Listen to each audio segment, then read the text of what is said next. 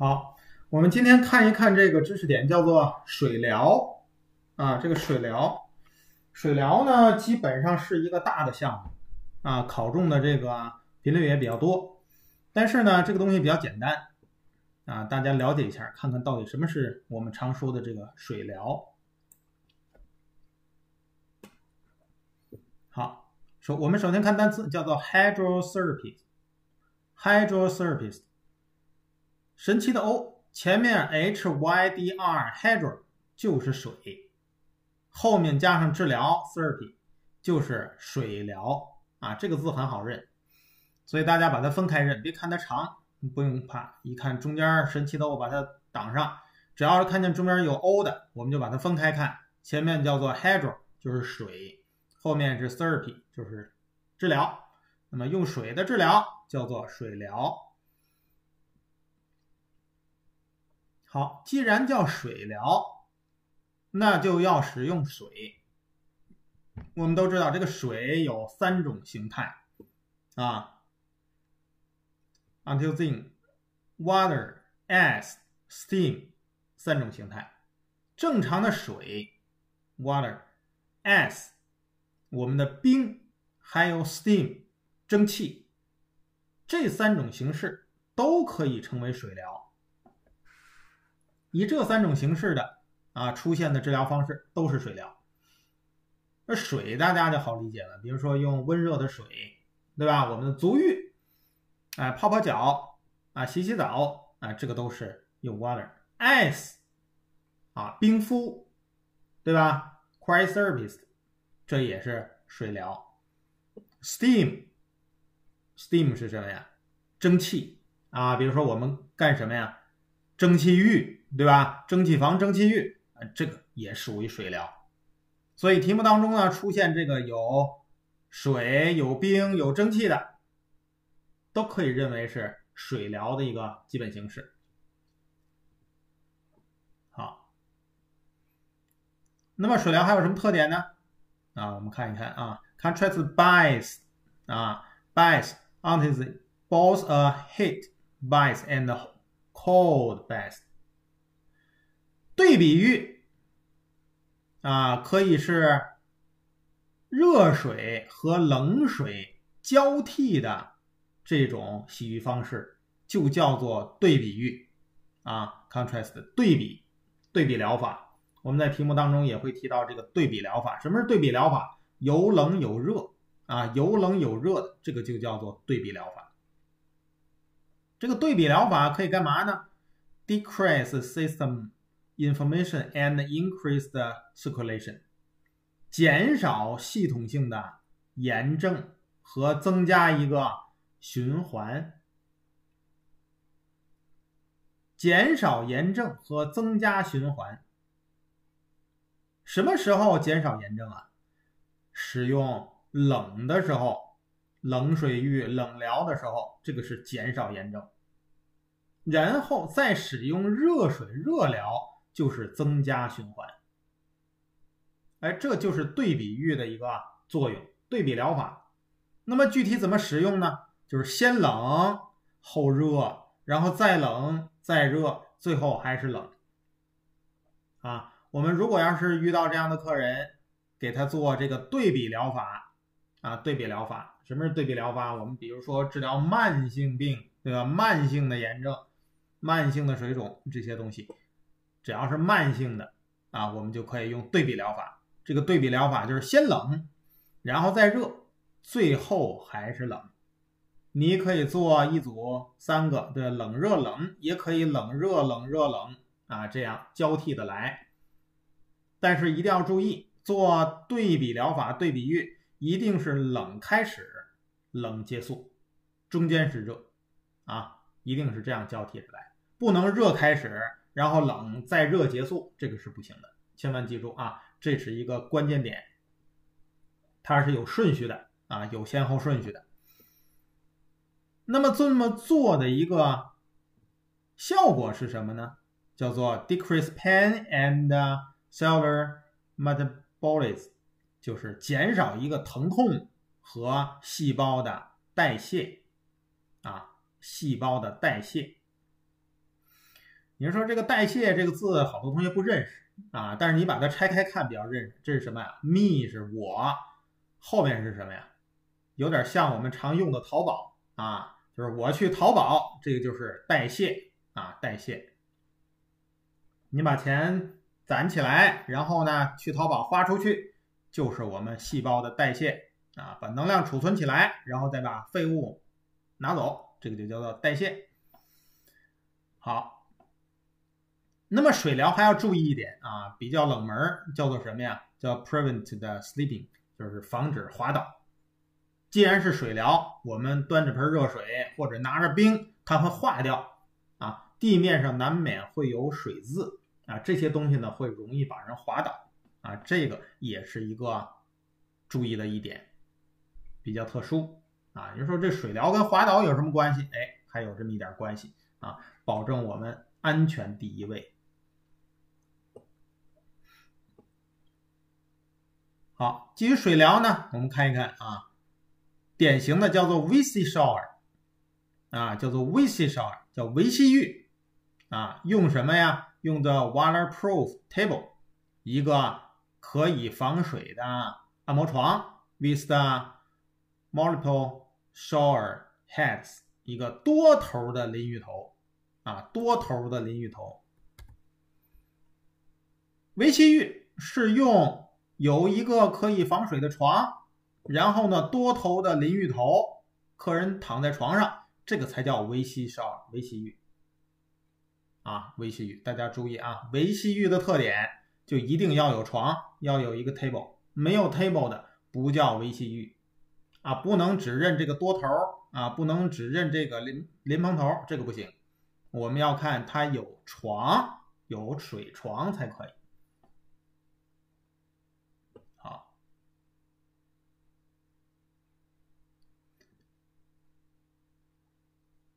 这个维 C 浴实际上就是我们常说的什么呀？大家想一想，就是 table shower，哎，就是 table shower 啊。这个维西浴说的就是 table shower。另外一种呢，叫做什么呀？叫做瑞士浴啊，叫做瑞士浴。这瑞士浴是这个站着啊，站着就是淋蓬头呢站着，从上到下，全身四周都喷过来啊，这叫瑞士浴。有床的叫做维西浴。好，我们接下来看一看啊，water temperature and body sensation，这是什么呀？水温和身体的感觉。有的人说这是干嘛用的？我们既然做水疗，我们要知道每一个温度和身体的体感哪一个适应，哪一个不适应，你要用多少温度的水做什么事儿啊？好，首先我们看叫做 frozen，华氏的三十二度，F 就是华氏啊，和我们在国内用的这个摄氏是不太一样的。华氏三十二度就是冰点，就等于摄氏的零度啊。如果要是看，哎，这个水温达到了三十二华氏度 F，这就冻上，就成冰块儿。那么呢，very cold。啊，有时候说是非常冷，什么温度叫做非常冷？就三十二到五十五华氏度，一般叫做十三摄氏度以下啊，十三摄氏度以下，这个就是什么呀？这个就是有疼痛感，您能把你冻疼，那这个冻疼了，这个呢就是十三摄氏度，三十二到五十五华氏度啊，在这个情况下是非常的冷啊，非常的凉。寒冷 （cold） 啊，这一般的冷是五十六到七十华氏度，也就是十三到二十摄氏度。这个数度数啊，对于我们人类是 uncomfortable，它给出的叫做不太舒服，可以忍受啊，但是不太舒服。下面呢叫做 cool 啊，七十到八十华氏度，或者是二十到二十七摄氏度。这个时候呢，可以引起一个什么呀？Goosebumps，这个叫鸡皮疙瘩。我们都知道，哎，鸡皮疙瘩，凉爽，cool，凉爽，七十到八十华氏，或者是二十到二十七度，就二十度上下，这个是凉爽 cool 啊。有好多同学就说，哎，这个冷寒冷 cold 和这 cool 有什么区别？就有这么点区别，差这么几度啊，差了十度。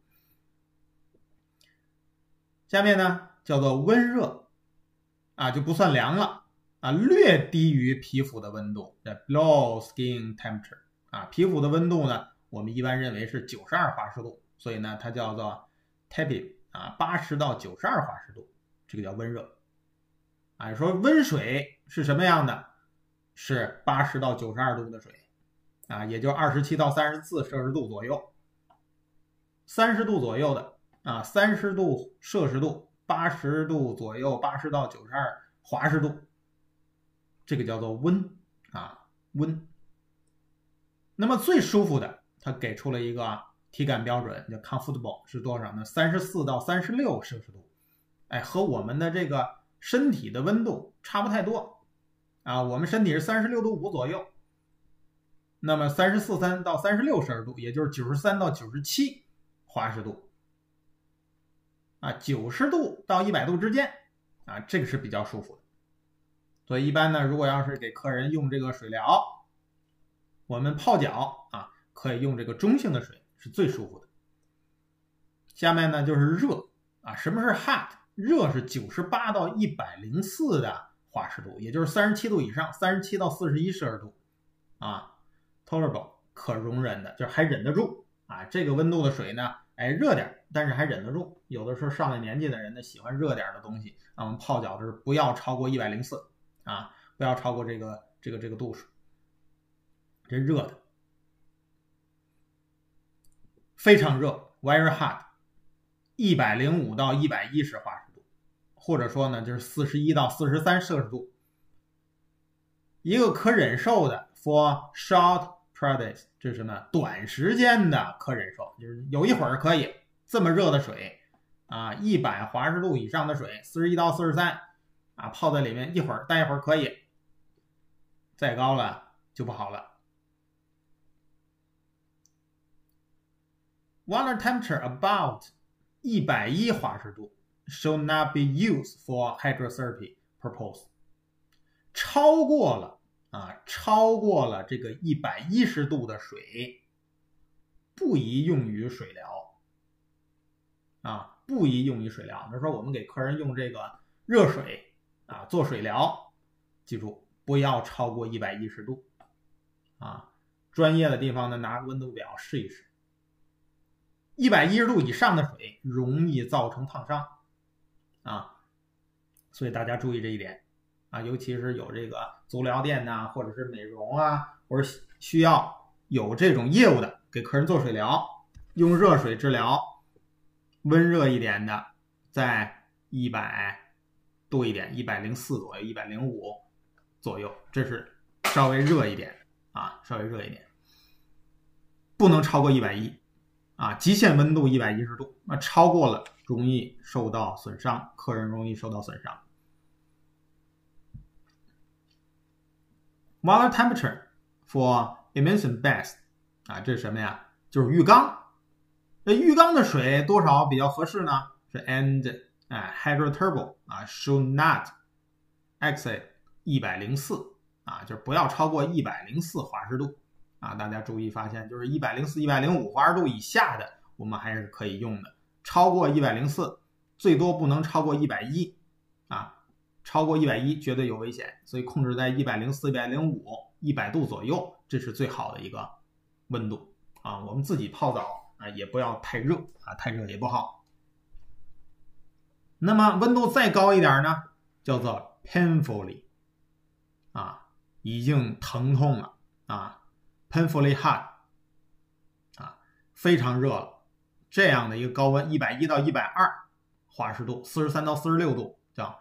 Interval 已经让人难以忍受了。再厉害一点的叫 dangerously hot，这是什么呀？危险的高温。